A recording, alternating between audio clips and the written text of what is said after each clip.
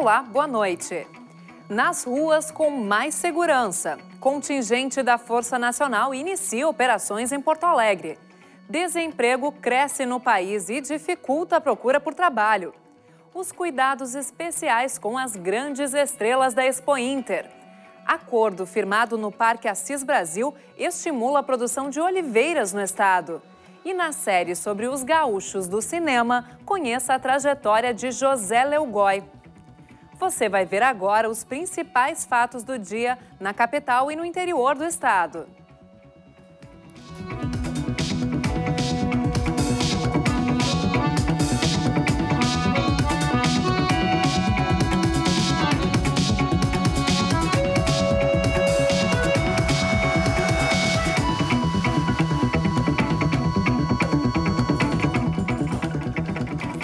Agentes da Força Nacional de Segurança retomaram agora há pouco as ações ostensivas com barreiras nas ruas da capital.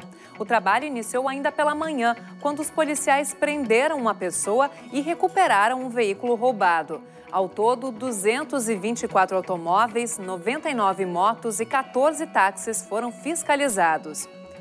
Facilmente reconhecidos pelas boinas vermelhas, os militares da unidade especial não passaram despercebidos nas ruas de Porto Alegre. Desde o início da manhã, o reforço policial chamava a atenção em Porto Alegre.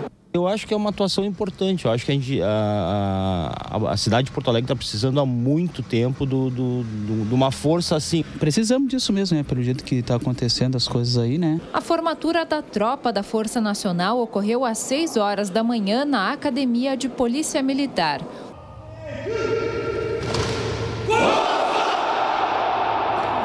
O grupo se soma ao efetivo da Brigada Militar da Operação Avante, chegando a 280 agentes no policiamento ostensivo. As equipes farão patrulhamento com viaturas e barreiras, além de auxiliar nas ações nas periferias e no combate ao tráfico de drogas. Já estão nas ruas 135 dos 150 policiais da Força Nacional prometidos para atuar no Rio Grande do Sul. Eles devem permanecer na capital. O prazo para o término da operação ainda vai ser definido em acordo entre o governo estadual e o federal. A Força Nacional está trabalhando em áreas de maior incidência criminal. Tá? Além desses locais de maior incidência criminal, em locais de grande circulação de pessoas, locais de grande visibilidade, que dê visibilidade para o policiamento e que as pessoas, vendo esse policial atuando, policial da Força Nacional, aumente a sensação de segurança da comunidade. Nesta manhã, um tiroteio na vila conhecida como Buraco Quente, no Morro Santa Teresa, mobilizou as tropas da Força Nacional e da Brigada Militar. Uma pessoa morreu. A ação foi a primeira do patrulhamento conjunto entre as duas corporações na capital gaúcha. Foi despachada uma viatura para atender uma situação de barricada num, num, local de conflito em relação ao tráfico de drogas e a Força Nacional apoiou né, as demais guarnições da Brigada Militar, onde fizeram buscas e, lamentavelmente, não prenderam ninguém, mas desobstruíram a via e trouxeram a normalidade àquela situação daquela comunidade. Polícia Civil prende suspeito de comandar o tráfico de drogas na Vila dos Papeleiros, em Porto Alegre. Dois homens foram detidos e três adolescentes apreendidos na Operação Papiros. Os agentes encontraram armas, dinheiro e entorpecentes. Também nesta terça-feira, a Polícia Civil realizou em Canoas uma ação para combater o roubo de veículos na região metropolitana. A Operação Setor 1 desarticulou uma quadrilha que fazia assaltos à mão armada e ainda sequestrava as vítimas para roubar pertences de suas residências. Três pessoas foram presas. E o Palácio Piratini confirmou um novo parcelamento no salário dos servidores do Executivo Estadual. A primeira parcela, de 800 reais, vai ser depositada amanhã. A previsão é de que a folha de agosto seja quitada até o dia 13 de setembro. Já no Legislativo, os deputados gaúchos autorizaram mudanças no texto da Lei Kiss. Com 39 votos favoráveis e apenas um contrário, os parlamentares aprovaram nesta tarde o projeto de lei encaminhado pelo governo, que altera as regras de segurança contra incêndio no estado. A medida agiliza a liberação de alvarás para construções de médio e baixo risco de fogo, mas não altera as normas para as construções de alto risco. E seguindo a tendência nacional, a taxa de desocupação no estado também não para de crescer. O indicador calculado pelo IBGE entre maio e julho atingiu 8,7% no Rio Grande do Sul, índice, superior ao apurado no trimestre anterior e também no mesmo período de 2015. As vagas de trabalho estão cada vez mais escassas. No Vale do Taquari, a reportagem da TV Univates foi conferir a realidade do Cine de Lajeado. Por lá, desde o ano passado, diminuíram em mais de 60% as oportunidades de emprego. O desemprego está deixando muita gente sem ter para onde correr. Nos primeiros sete meses de 2016, foram oferecidas 551 vagas de trabalho na agência do Cine FGTAS de Lajado. Ano passado, no mesmo período, foram 1.593 vagas, quase o triplo. Nós tivemos uma queda brusca né, na, nas, na captação de vagas. Nós tivemos uma redução de vagas de até 64% de diminuição de vagas que foi afetada aqui na nossa região em Lajado. Seu Valdir está há quatro meses à procura de trabalho, mas não conseguiu nada de novo. O momento está bem complicado. Depende da profissão, está bem complicado daí.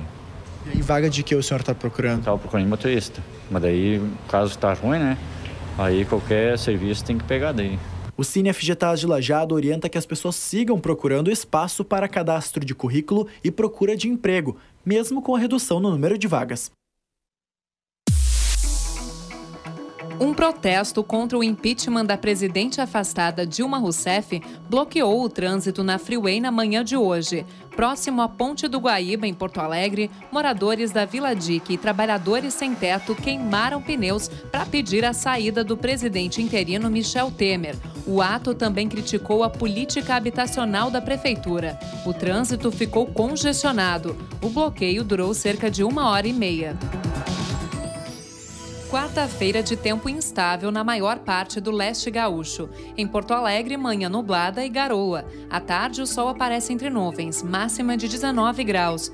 A instabilidade diminui ao longo do dia também em Novo Hamburgo, onde a mínima é de 13 graus.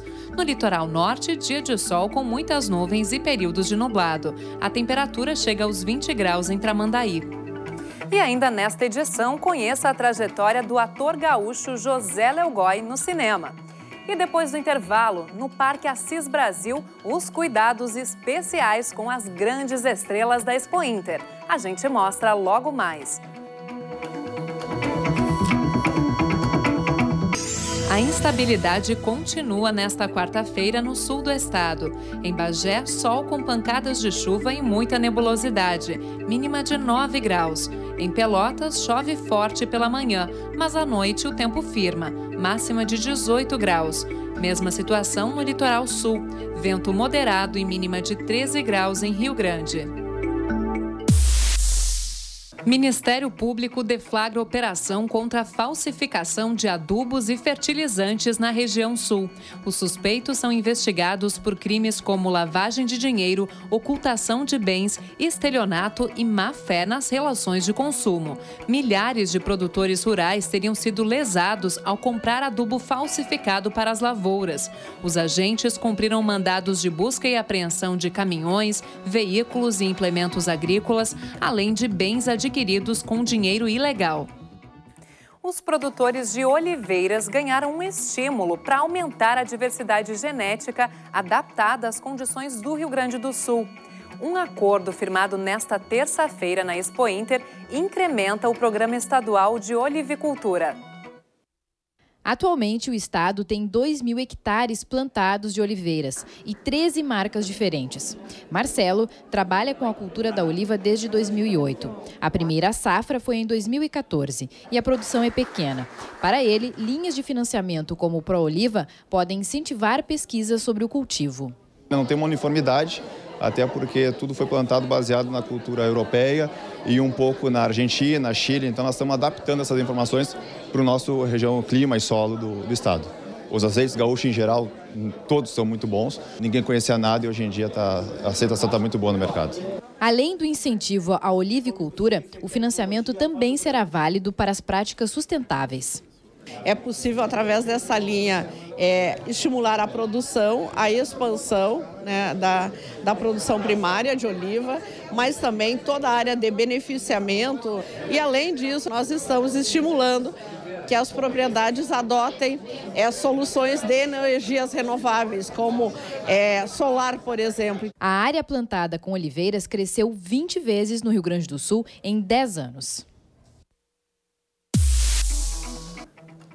Celeiro lotado. O primeiro levantamento da Emater projeta crescimento na próxima safra de verão do Rio Grande do Sul, que deve chegar a 29 milhões e 100 mil toneladas. O volume é 2,2% superior ao apurado na última colheita. Entre as principais culturas, a lavoura de arroz deve crescer 11,3% e atingir 7 milhões e meio de toneladas o milho deve ter incremento de 2,6%, totalizando 4 milhões e 850 mil toneladas. Já a colheita de soja deve encolher 2,1%. Mesmo assim, o grão deve responder por mais de metade da safra gaúcha, totalizando 15 milhões e 800 mil toneladas. Eles são os grandes astros da Expo Inter. Por isso, os bovinos de corte ganham cuidados especiais durante o dia. O esforço é para que os animais se mantenham saudáveis e tenham destacadas as características de cada raça. Mas neste ano de crise econômica, eles estão em menor número na feira. Ambiente limpo e organizado, alimentação equilibrada, atenção à estética. Os cuidados são muitos, afinal, os animais que vêm para cá são os melhores das propriedades de origem. Só que este ano, devido ao momento econômico, os produtores selecionaram ainda mais e reduziram o número de animais expostos. No total, foram inscritos quase 500 a menos do que em 2015.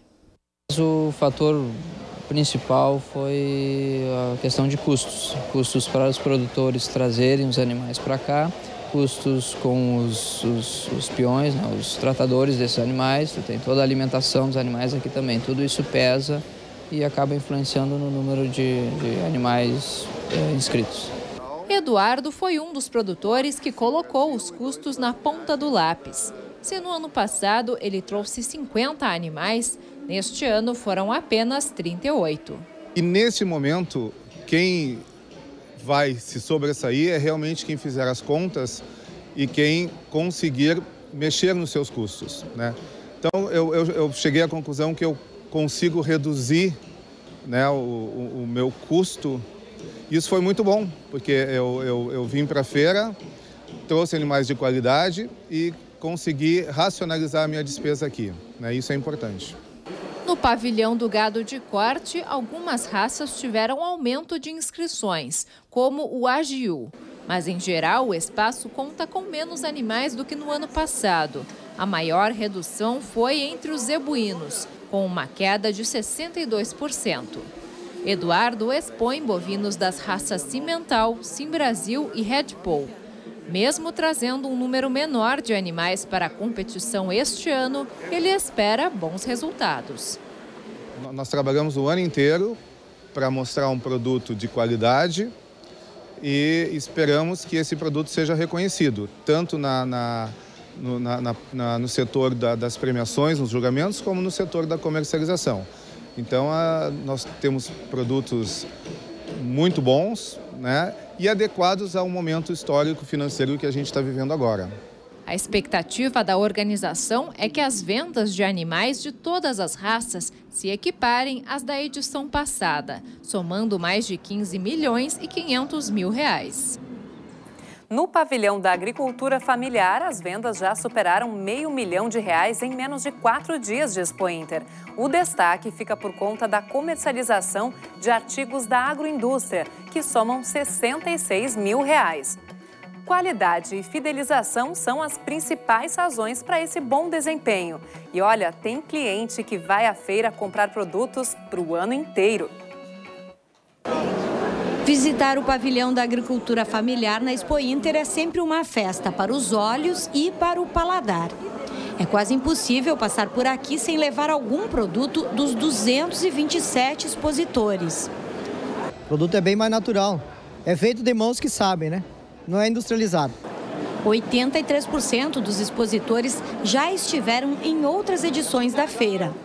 94% participam do Programa Estadual de Agroindústria Familiar e usam o selo Sabor Gaúcho. Tem toda uma norma, um regimento a ser observado, desde a questão da água potável, desde a questão das boas práticas de fabricação. Então, se é produto de origem animal, é mais rígido, tem que seguir as normas, até para preservar, e todos nós queremos a boa saúde de todos os gaúchos e todos os brasileiros. A expectativa desse ano é um aumento entre 8% e 10% nas vendas no pavilhão da agricultura familiar, chegando a 2 milhões e meio de reais. Boa parte desse otimismo fica por conta da qualidade dos produtos oferecidos. Para ter um queijo bom hoje, tem que ter um bom leite. Hoje a agricultura familiar que trabalha com leite, ela produz o leite e faz os alimentos. Os derivados do leite é feito na porteira fechada. 13% dos expositores trabalham com produtos orgânicos. Ele é puro, né? Ele é saudável, né? Sem veneno, sem nada. Que nem os meus, eu produzo todos, eu não passo nada. Até quarta-feira acontece a quinta edição do concurso dos produtos da agroindústria familiar da Expo Inter. São nove categorias de produtos. Os vencedores recebem certificação de qualidade. O júri é formado por representantes da Embrapa, Ministério da Agricultura e também por especialistas de outros estados para cachaças e queijos coloniais. O resultado será divulgado na quinta-feira.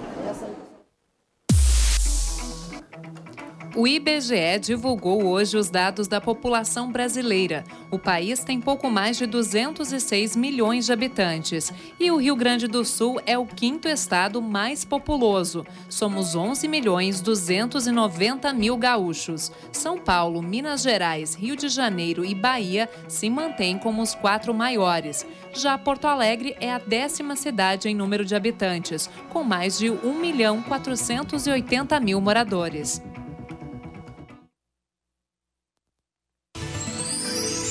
Tempo fica encoberto no oeste do estado nesta quarta-feira. Em Uruguaiana, sol com muitas nuvens e períodos de nublado. A mínima vai ser de 11 graus. O mesmo ocorre em São Borja, onde as marcas chegam aos 19.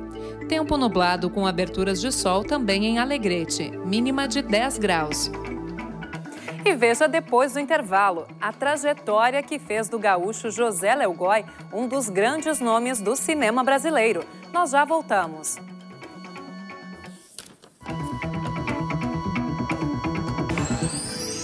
Para de chover na região central do estado a partir de amanhã. Em Santa Cruz do Sul, dia de sol com muitas nuvens e períodos de nublado, máxima de 19 graus. Situação semelhante em Santa Maria, onde a mínima vai ser de 13 graus. Em Cachoeira do Sul, predomínio de tempo nublado com algumas aberturas de sol. As marcas chegam aos 19 graus. No mês em que a Lei Maria da Penha completa 10 anos, voluntários fazem ação na capital para conscientizar sobre a violência contra a mulher. Nesta terça-feira, a ONG Temes distribuiu panfletos informativos aos passageiros que circulavam pela estação Mercado da Transurb. Uma equipe técnica também ofereceu orientação jurídica para casos de violência doméstica e de gênero. A parceria fechada com o Festival Internacional de Sundance, nos Estados Unidos, ganhou destaque em Gramado. Agora, o Festival de Cinema tem uma programação paralela com filmes do evento norte-americano e ainda entra na rede dos maiores incentivadores de cinema do mundo. É o que você confere na reportagem da ESPN Sul e GNC. Para criar alianças com os grandes festivais mundiais, Gramado pela primeira vez fez uma parceria com o Festival de Sundance. Quando me convidaram para fazer o Festival de Cinema, eu fiquei muito empolgado e sugeri que nós fizéssemos o Star Alliance, ou seja, uma aliança de Gramado com os grandes festivais do mundo. E a primeira procura que nós fizemos foi o Sundance, que é um parceiro que nós já tínhamos relacionamento, e nós trouxemos para Gramado para poder ser a primeira posição é, que já tem naturalmente o festival, já tem relações com outros festivais aqui, latinos e tal, mas nunca fora da América Latina. Então, quer dizer, esse é o primeiro. Ano que vem eu gostaria de convidar a Academia do Oscar, por que não? Uh, Cannes, Berlim, grandes festivais. Quando a gente começa a fazer essa relação, a gente começa a expor os produtos, os filmes brasileiros para esses caras que conhecem e compram os filmes brasileiros. E o inverso também acontece. E trouxe a atriz australiana Rachel Griffiths para apresentar o longa-metragem Mammal, que teve uma sessão comentada na tarde de segunda-feira no Palácio dos Festivais. I haven't seen much of Brazil, so I have to judge it by the people, and the people are very beautiful and incredibly kind and welcoming and um, and open. Everyone seems very open, and that's lovely. No tapete vermelho foi a vez do longa cubano Esperruelos Oscuros, de Jéssica Rodrigues. E hoje à noite, o ator José Mujica Marins, o Zé do Caixão, será homenageado com o troféu Eduardo Abelim. Do Festival de Cinema de Gramado para a TVE, Amanda Xavier. Quarta-feira de temperaturas amenas e muita nebulosidade no norte do estado. Na Serra, sol com algumas nuvens e períodos de nublado, mínima de 12 graus em Caxias do Sul. Tempo firme também no Planalto. Em Passo Fundo, a máxima fica em 17 graus. No noroeste, a umidade do ar chega aos 94%, mas não chove. A mínima vai ser de 11 graus em Ijuí. No Dia Internacional do Preso Político Desaparecido, projeto Marcas da Memória relembra a história da repressão durante a ditadura militar. Na calçada em frente ao cais da Vila Assunção, em Porto Alegre, foi marcado o local usado como atracadouro pelos barcos que conduziam presos políticos à Ilha do Presídio. Os prisioneiros iam e voltavam para interrogatórios e sessões de tortura. Agora a gente volta a falar de cinema para contar que a Serra Gaúcha foi o destino de dois estrangeiros ao chegarem ao Brasil lá no início do século XX. Em Veranópolis nasceu um profissional que conquistou o mundo através da sétima arte. Na série de reportagens para relembrar os artistas gaúchos que se destacaram no cinema, nós fazemos hoje uma homenagem a José Leogói.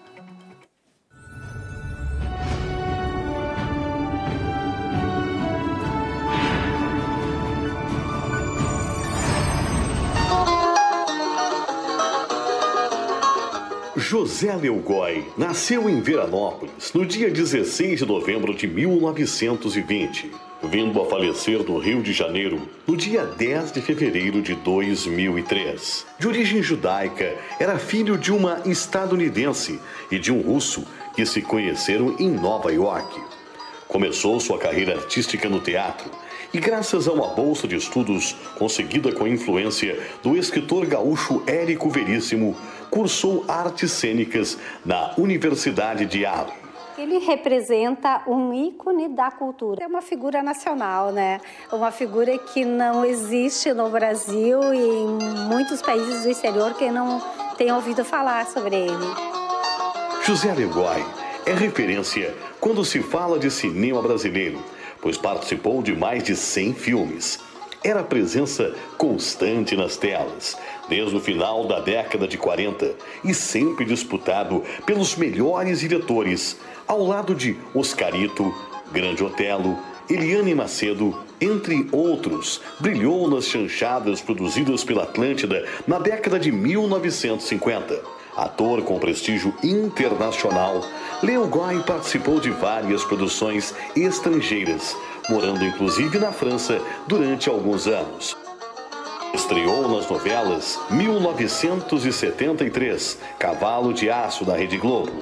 E a partir daí, participou de mais de 30 produções na televisão, sendo a última delas Esperança, em 2002, também na Globo. Ganhou vários prêmios como ator de cinema e televisão e se consagrou com o personagem Edgar Dumont da telenovela Louco Amor de Gilberto Braga. Destaque também para suas atuações em Nina, de Walter Jorge Dust, Dança e Days e Água Viva, e nas minisséries O Tempo e o Vento, inspirada nas obras de Érico Veríssimo e Anos Dourados de Gilberto Braga.